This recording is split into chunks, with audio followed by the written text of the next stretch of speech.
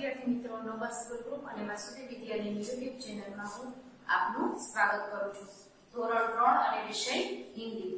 અને આપણે page number આઠ સુધીના શબ્દો કર્યા હતા સ્વાની અંદર પછી આપણે શું કર્યું તો કે બારાક્ષળી લીધી, કે જેથી કરીને શબ્દો વાંચતા આવડી જાય.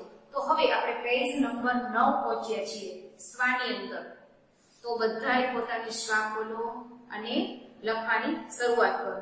પહેલા હું સમજાવું છું જો ર થી શ્રવણના સ્ર સુધીના શબ્દો હું તમને ગુજરાતી સાથે લખાવું છું તમારે શું કરવાનું છે કે જે ચોરસ છે એમાં ચિત્ર આપ્યું છે જગ્યા હોય તો ત્યાં તેનું ગુજરાતી લખી નાખો જેથી કરીને તમે સ્વા ખોલો તો તમને તરત તમને એ શબ્દનું ગુજરાતી આવડે ફટ ગોતવું ન પડે વિચારવું ન પડે અને ઝડપથી પાકું થઈ જાય આવડી જાય પછી સવાલ નથી પણ તો અહીંયા ગુજરાતી તમે મારી સાથે જ બુકની અંદર લખી નાખો.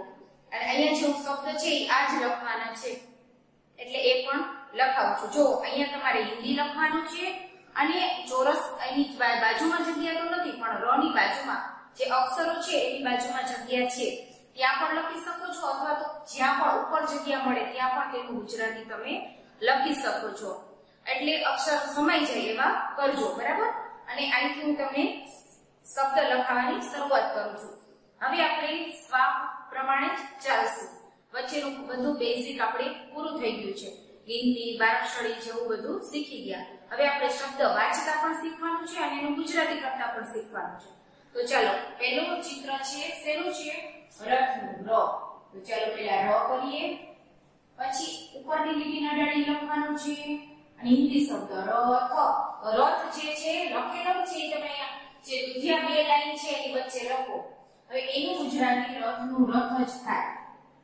તો આ ગુજરાતી છે એ તમે ઉપર પણ લખી શકો છો અને બાજુમાં પણ લખી શકો છો. હવે છે હિન્દીનો લ. લ સે લડકી.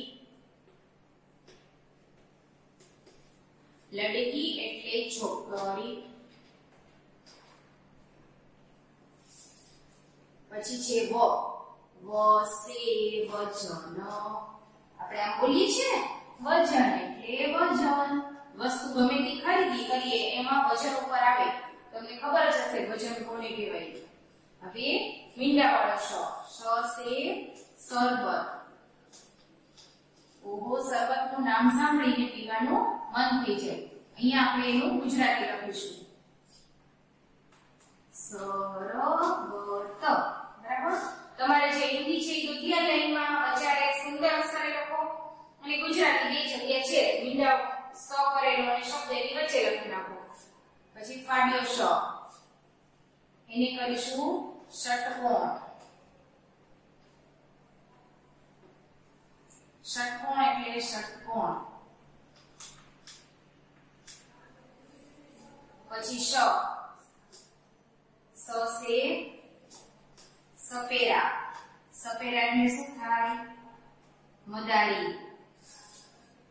પછી છે હ. હ સે હલ. હલ એટલે હ અળ. ચિત્ર જો જોશો ત્યાં તમને ખબર પડી જ જશે કે શું છે?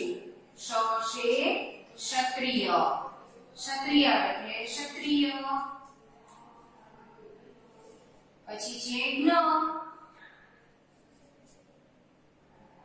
ન સે નાની જ્ઞાની એનું ઈ જ થશે નાની પછી છે ત્રિશુલનો ત્ર તો ત્ર તે શું છે હિન્દીમાં ત્રિશુલ ત્રિશુલ એટલે ત્રિશુલ જ થાય। તમે બધાએ ત્રિશુલ જોયું જ હશે।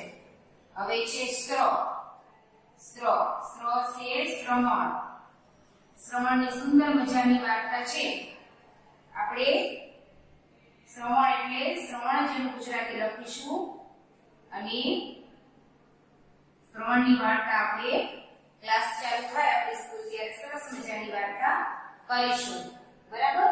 ચલો, અહીંયા ર થી સ્ર સુધીના શબ્દો હિન્દીમાં જ લીટીમાં લખવાના છે ગુજરાતી વચ્ચે લખી નાખવાનું છે. પેજ નંબર 9 આપણને જોયું ર થી સ્ર સુધીના શબ્દ ચલો, તમે પણ લખી નાખો અને તમારી સાથે પોથીમાં આગળ વધો.